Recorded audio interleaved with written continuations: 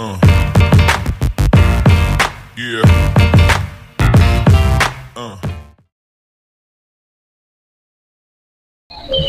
Hola, buenas tardes, un gusto. Soy la estudiante Cledi Mayor de León Mora del grado de A.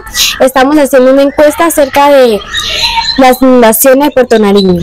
Eh, mi grupo está conformado por David Machado y Daidelin Dixel Castellanos Telles. hoy en esta tarde estamos haciendo la entrevista al señor, Benjamín Franco Mateus. Es un señor que tiene lleva mucho tiempo viviendo acá eh, en Puerto Nariño. Bueno, las, pre- las preguntas que le tenemos es, ¿desde qué año empezó la primera inundación en Puerto Nariño? La primera inundación aquí en Puerto Nariño empezó en la década del 90 por ahí. Empezaron las primeras inundaciones. Del 90 o solo más en el 2000. En, el 2000 fueron las inundaciones grandes. ¿sí? Aquí Puerto Nariño pues es, es un caserío, un pueblo de aquí del departamento de Arauca muy importante porque se trata del centro de la colonización. Aquí fue donde se, vi- se vino a, a colonizar la gente como en, la década del, del 60 y del 63. Vinieron gente de varias partes del país y por eso esta región del Sarari la llaman la región cosmopolita. La siguiente pregunta que le tenemos es, Bueno, la siguiente pregunta es, ¿cuáles son los ríos que más han afectado a Puerto Nariño? Los ríos que más han afectado aquí a Puerto Nariño es el río Banadía, el río Madre Vieja y el río Arauca. Esos son los tres ríos que afectan aquí a- al caserío, a, a la población de Puerto Nariño.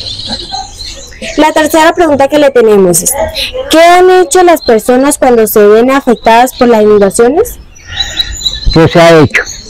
Pues desalojar las casas cuando se inundan demasiado. En el caso mío, pues llega a metro y pico, por ahí a metro 20, 30 centímetros y nos toca salir para unos albergues o buscar para Saravena. Sí, o sea, ha afectado demasiado que, demasiado, demasiado, se afecta demasiado, muchas pérdidas de, no pérdidas humanas, pero sí pérdidas materiales. la cuarta pregunta que le tenemos es, ¿Creen ustedes que puede haber un arreglo para las inundaciones en Puerto Nariño? Sí, claro, se, se pueden haber, se está trabajando sobre un jarillón en el río Banadía, en la vereda bajo Banadía, que es donde el río se eh, sale y ahí pues se está haciendo un jarillón, pero se necesita es más apoyo del gobierno central, del gobierno departamental y del gobierno municipal para, para hacer un buen trabajo de alta envergadura en ese lugar.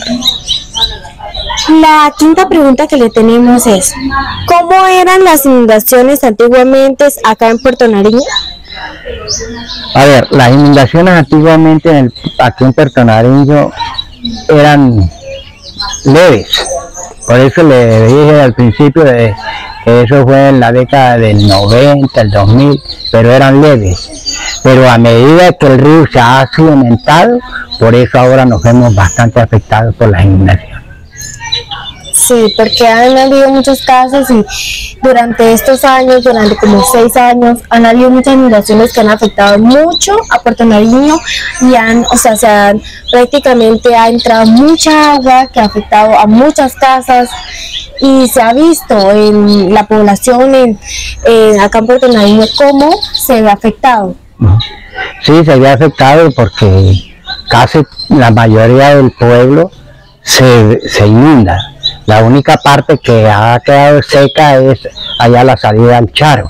Es la única partecita, lo, lo que es allá en Don Moisés y, y, donde Don Jeremías Franco. ¿sí? Eh, es las que no, no se han llegado a inundar. El resto, casi todo. ¿sí? Se casi todo el pueblo. Sí. Durante como más o menos qué fecha usted se acuerda que hayan visto, hayan habido inundaciones acá en Puerto Nariño? Como de 2000 para acá.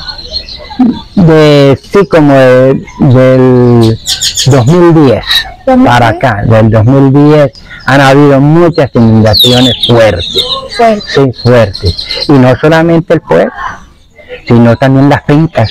Sí. las fincas que están alrededor, como es la vereda Monte Adentro. La vereda Monte Adentro es una de las veredas que sufre la misma, las mismas consecuencias que sufre aquí Puerto Nariño. Se pierden animales, se pierden cultivos, ¿sí?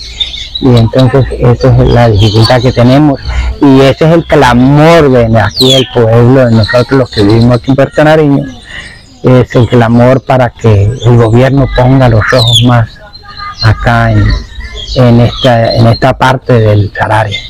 Sí, porque